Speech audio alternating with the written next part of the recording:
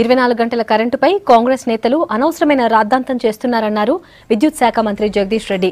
Nalgonda camp కార్యాలయానికి వచ్చిన మంత్రి సమక్షంలో పలువురు ఇతర పార్టీ కార్యకర్తలు టీఆర్ఎస్లో చేరారు.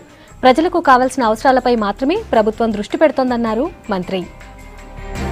తెలంగాణ ప్రాంత నేతలకి ధైర్యం లేక ఆంధ్ర పరిపాలకులను నిలువరించలేక తెలంగాణ రైతాంగానికి ద్రోహం చేసినమాట వాస్తవం. పెద్ద సమస్య పరిష్కారం కానే కాదనుకున్న సమస్య.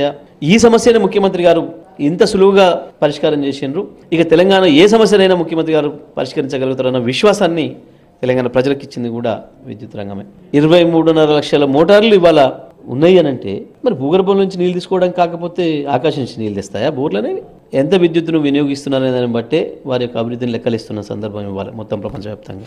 విద్యుత్ రంగంలో పరిశ్రమలకు పారిశ్రామికవేత్తలకు ఒక విశ్వాసాన్ని కల్పించే ప్రయత్నం చేసి ఆ తర్వాత టీఎస్ఐ పాస్ పాలసీని విడుదల చేయడం ద్వారా ఇవాళ మనం ఈ గొప్ప విజయాన్ని సాధించగలిగినాం. ఇప్పటికే లక్షలాది మందికి ప్రైవేట్ రంగంలో ఉపాధి అవకాశాలు పెరుగుతున్న సంగతి మనకు తెలుసు.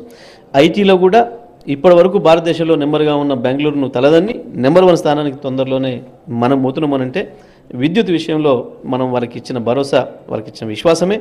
అది మన వైపు అందరూ చూసే పద్ధతుల్లో మొత్తం ప్రపంచవ్యాప్తంగా పారిశ్రామిక రంగాన్ని తెలంగాణ గురించి మాట్లాడుకునే పరిస్థితిలోకి తెచ్చింది అంటే తప్పకుండా విద్యుత్ పైన వారికి ఉన్న విశ్వాసం. టీఎస్ ఐపాస్ ద్వారా గౌరవ ముఖ్యమంత్రి గారు ఇచ్చిన గొప్ప అవకాశం. మిర్చి పంటలకు కానీ పత్తి పంటలకు కానీ సాగు చేసుకోవడానికి జనరేటర్లు పెట్టుకొని వ్యవసాయం చేసిండ్రు. మేము మాత్రం తప్పకుండా ప్రభుత్వంగా చాలా సంతోషంగా ఉన్నాం. మరి ఈ సందర్భంలో విద్యుత్ శాఖ మంత్రిగా ఉండే అవకాశం కేసీఆర్ గారు నాకు ఇవ్వడం నేను నా అదృష్టంగా భావిస్తా ఉన్నా.